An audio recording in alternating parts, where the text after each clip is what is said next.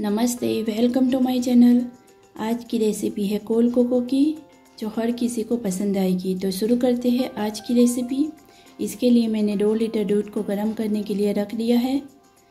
एक कप जितना दूध मैंने निकाल लिया है, जिसे हम कोको और कॉर्नफ्लोर में मिलाएँगे। दूध को उबलने के लिए छोड़ देंगे, तब तक हम पेस्ट बना लेंगे। इसके लिए मैंने चार टेबलस्पून कोको पाउडर लिया है। इसमें चार पाँच टेबलस्पून जितना दूध मिलाएँगे और मिक्स कर लेंगे।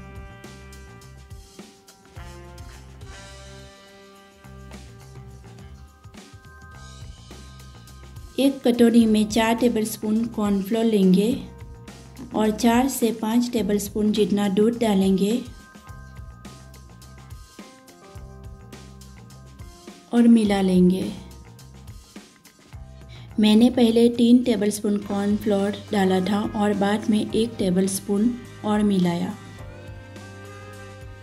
अगर आपको मेरी ये रेसिपी पसंद आई हो तो लाइक शेयर ज़रूर करें और चैनल को सब्सक्राइब करना ना भूलें।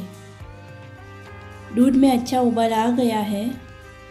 अब हम इसमें कोको पाउडर वाली पेस्ट मिला लेंगे और अच्छी तरह से मिक्स कर लेंगे।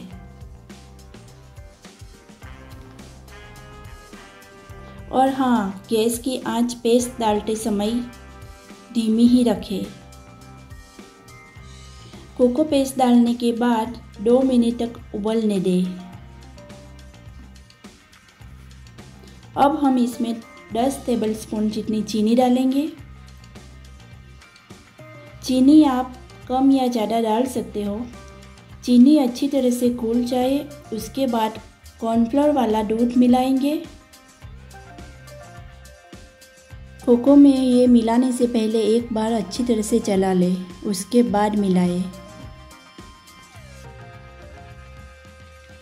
कॉर्नफ्लोर वाला दूध डालने के बाद लगातार चलाते रहना है, नहीं तो तले में जल सकता है। कोको गाढ़ा होने तक उबलने देना है। अगर आपको कोको पाउडर या कॉर्नफ्लोर कम लगे तो दूध में मिलाकर डाल सकते हो।